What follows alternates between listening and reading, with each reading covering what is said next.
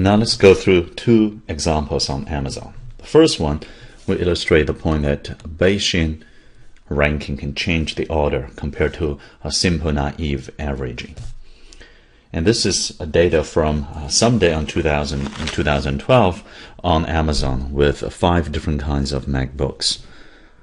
And in this table, we list the number of ratings, the naive simple average of these ratings, and the resulting rank. And our goal is to compute the Bayesian ranking and the resulting Bayesian rank. Okay, so first of all, we see that the total number of reviews, n in this case, you add these up, is 227. And the n times r, which equals ni times ri, this is the each of the five products uh, number of ratings, and Ri is each of Pi 5 products average ratings. That turns out to be, you can just multiply and then add up the five numbers to be 2332. Okay, 0.752. Okay. So the average rating, therefore, is uh, about 2.4.42. If you look at these five MacBooks without computing any Bayesian numbers yet. You see that uh, this one's ranked number one by average, simple average, and this one's number two, but they each got only 10 or 15 ratings. Now we can go into the distribution, into the time series analysis, and all that we mentioned at the beginning of the lecture. But the mature results we have really is just on Bayesian adjustment. But just on Bayesian adjustment already see that maybe they shouldn't be ranked so high, even though this is a very high score, 4.9, but it's only based on 10 ratings. Whereas this 4.5 stars is based on a much larger population. So maybe this should be ranked higher than this. Will that happen? I don't know. We have to carry out the converse, the calculation.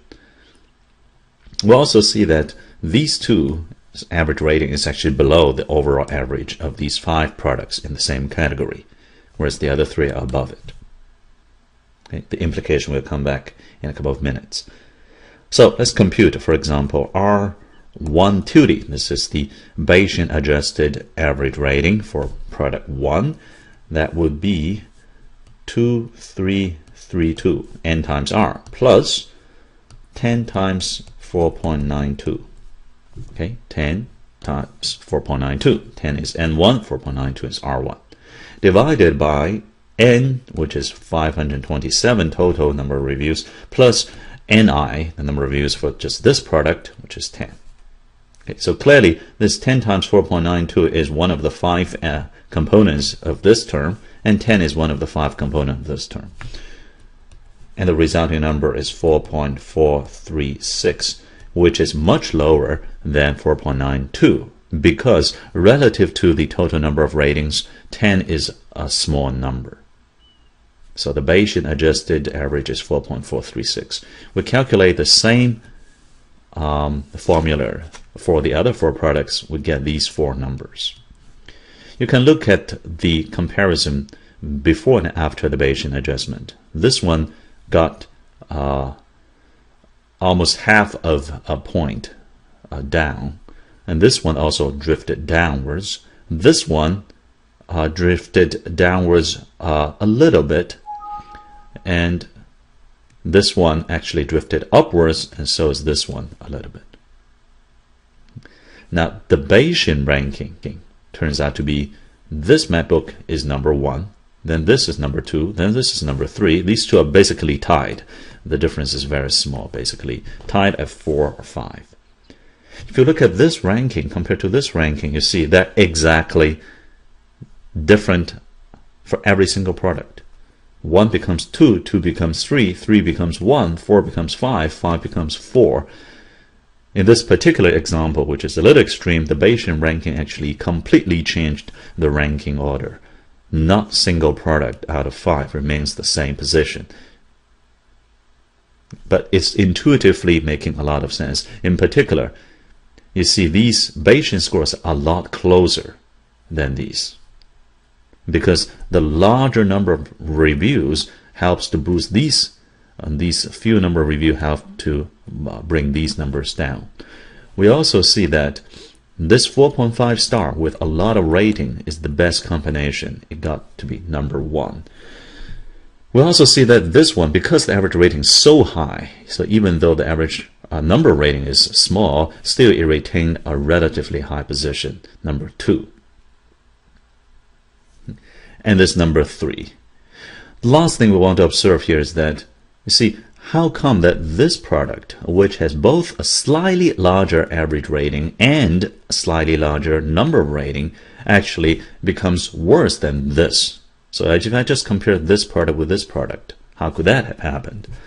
Well, the main thing is that because both of their simple naive average rating is below the big R, 4.42.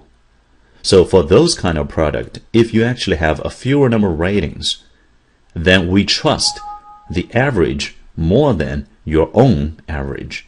That's why it put up closer than this product to the total average 4.42. So there's a lot of interesting messages just out of this simple example. Now let's move on to a larger example. Our goal is to reverse engineer what Amazon does. Again, Amazon shows you the average number of stars, a 4.5 star, and number of ratings. And you can try to make sense out of this yourself. Everybody in our uh, mind, we're implicitly comparing this in some scale. We know for certain product 121 is a lot of ratings and therefore this is trustworthy. And we know for certain product 121 is not enough. So we have some implicit scale that we can use. Now Amazon also gives you a ranking, not just the rating, but also ranking of say similar product. Let's say uh, HD uh, TV, um, LCD TV, uh, 30 to 40, 34 inches. Okay, if you go there, as we did a few weeks ago in 2012, you see that um, it gives you a ranking of say top 20 uh, TV products. And you can actually rank that top 20 by several different criteria. One criteria is the so-called average customer review. And you think that this order, therefore, should be exactly following this average number of stars. But actually, it does not. I will show you an example in a minute. So it must have done something else. What is that something else? That's a secret formula that Amazon does not reveal to the external world. But there must be some formula behind it. And we believe that one, it must have taken into account the number of reviews. In other words, a Bayesian adjustment has been done. Two, the recency of review also matters. And third, reputation score, or in general, uh, the quality of the review. One aspect of quality review is the reputation score of the reviewer. In fact, Amazon also keeps another ranking, a ranking of people ranking of reviewers. Some people actually try very hard to get to the Hall of Fame and be uh, included in the list of top reviewers. In fact, there is a voting formula that has changed about three times over the last 15 years. And there's interesting blogs just talking about the voting formula hidden behind the ranking of reviewers. But anyway, reputation score reviewer is one thing, Quality of the review just based on natural language processing so the keywords another. Review of review is another. And even timing of the reviews with time series machine learning will also help. So all these collectively points towards not just the quantity but also the quality of the reviews. So quantity, quality, and timing of the reviews, these three factors must have factored in but since we don't know the exact formula, we're going to try to reverse engineer that. Now, this is, of course, assuming that there are no other factors such as trying to finish selling something stocked up and not selling well, and thereby just artificially boosting to the top position. Um, there are uh, uh, insider uh, rumors uh, spreading around that says that maybe that has never been practiced in Amazon. So we have some level of confidence that there is a more objective formula. All right, so our goal in the next five minutes is to try to uh, discover that. And this is our example. It's actually LCD HD TV 30 to 34 inches. Uh, we did not write down the actual uh, manufacturer of the TV because that doesn't concern us here. We just write down the list of 20, okay, from 1 up to 20, top 20, ranked by Amazon according to customer review. But if you look at the customer review, which are these numbers, you see that they are not in descending order. Okay. Clearly, there's something else going on, even though it is according to the customer review, as is claimed. For example, the number of reviews by a Bayesian adjustment. We write in red the number of reviews here. Okay, you can see some product only got seven or eight reviews. Some got 249 reviews. Okay. If you look at this table, compared to last small example of MacBooks, it makes some sense. For example, whatever has a high naive average number of stars and a reasonable number of reviews is ranked high. But there are also quite a few outliers, including those circled in black color. This why is it ranked number 6 if it's only 4.2? Why is this number ranked number 12, 15, and 20, these three products, even though uh, the number of their reviews are actually very similar? Okay. This one you may see why, because uh, it's got uh, a small number of reviews and a small ranking score, but uh, 12, 15, and 20, they almost get the same number of reviews, but they're spread very widely in the final ranking order list. Also, why is number 14 ranked so low? It's got a reasonable um, number of stars and very large review population. So shouldn't it be actually be higher than position 14? So there are quite a few outliers and mysteries.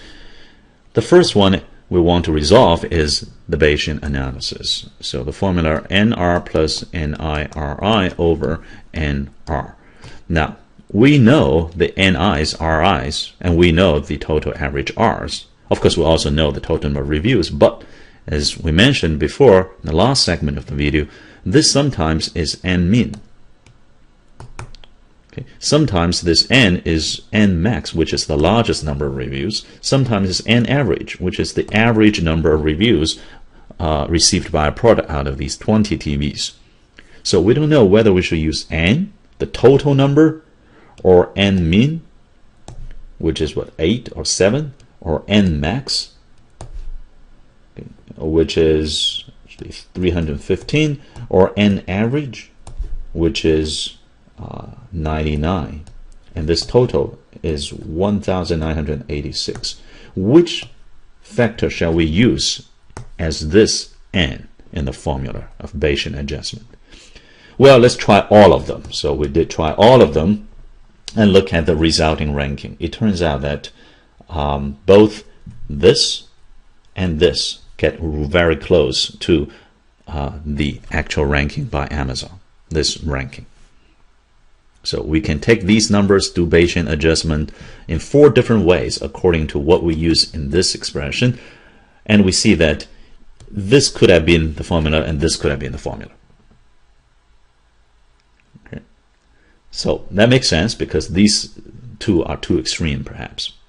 Okay, so somewhere between 100 and 300, somewhere between the average number of review per product and the maximum of reviews per product is um, used in the Bayesian adjustment. Okay. But also, we have to look at the quality of reviews, and that helps explain quite a few mysteries. For example, product 12. The most helpful reviews got 26 people finding it very useful, which is a lot more than uh, product 15 or 20. So that's why 12 is ranked quite high. Or product number 6, ranked number 6 by Amazon. The most helpful review has 139 out of 144 people saying that it's helpful. So the binary count of thumbs up and down is very high, very favorable to the reviews. So people uh, may trust uh, the reviews much higher. And this explains also the position of number 6. So let's take a look at 12 and 6. Okay, here's 6. That's why, even though its score is only 4.2, is uh, positioned quite high. Okay, and we're going to now look at number 14 here. Okay. Why is this ranked kind of low? Well, it turns out if you look at those reviews, first of all, the most helpful review was from 2010. And that's a little outdated. This is for product uh, 14. And there are eight reviews who gave it one star only. So the distribution has a very uh, negative component. And the review text says that the TV actually stopped working, didn't work after a few months. For electronic product, that's a major, major complaint. So by looking at the quality of the reviews in different ways, uh, we see why 12 and 6 rank where they are and why 14 is ranked where it is ranked. And then as to the timing, the recency of the reviews. We notice that, for example, product 15,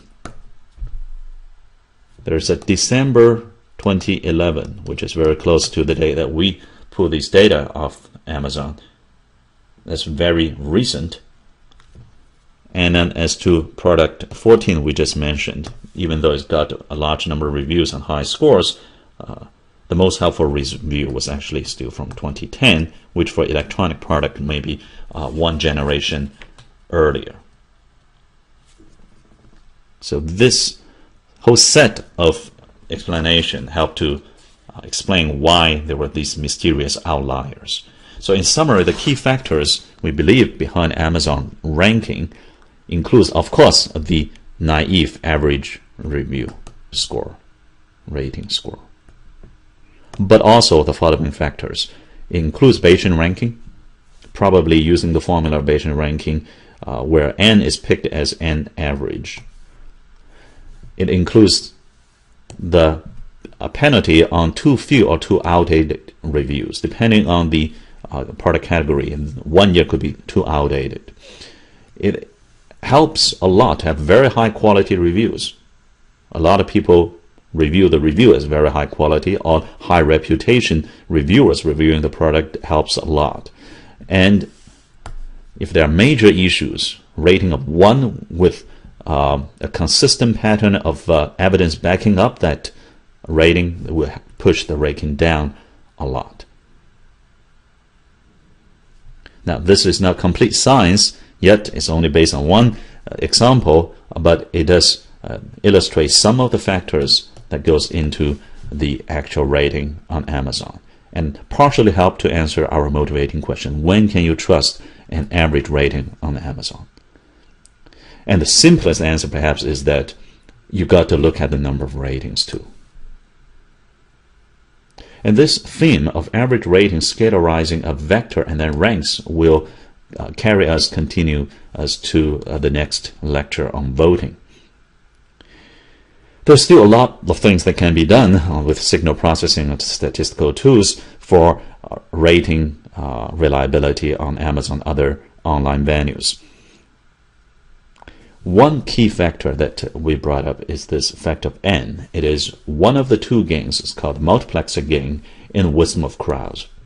This is just a fuzzy English phrase. So one particular quantification uh, in an unambiguous language is this fact of n multiplexing gain.